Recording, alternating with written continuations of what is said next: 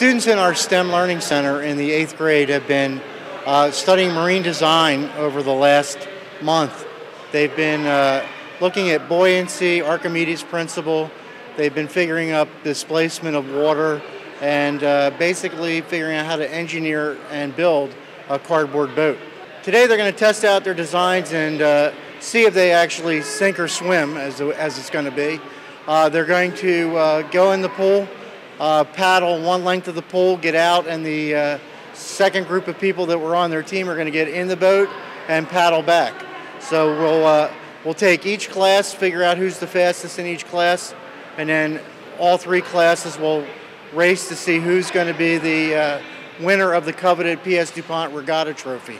Well, we had um, looked on, looked online for some designs for boats, and we decided that we liked this one with the triangle on the top because it looked like it would go faster and stuff. So we decided on that one. It started to like flood right away, so we kind of had to stay calm when we were trying to row and try to forget about the flooding and just like keep paddling. That was basically what we did. During our boat design, we had like a bunch of flotation, which didn't happen, but we still got across, so it's all good. We sealed it with construction adhesive and then we doubled up on cardboard.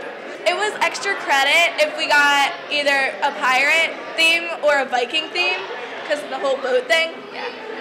So we got 25 extra credit points. It was so great. Uh, we thought our boat was well constructed. Then when we got in the boat, a hole had got a little hole had got in it, and it caused us to fall over with all the water in it. So we didn't want to lose to the boys because they're always talking about how they're going to win. So we just pushed it and all the way to the finish, and we won. The concerns were how much rubbing the rubbing down of the duct tape happened to keep the seam sealed. Uh, some of them went to caulking, some of them went to construction adhesive.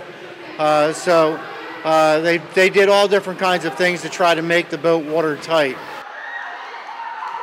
The winning team gets to throw me in the pool. You, you got to give them something to want them that, that they, uh, they feel challenged and they want to learn.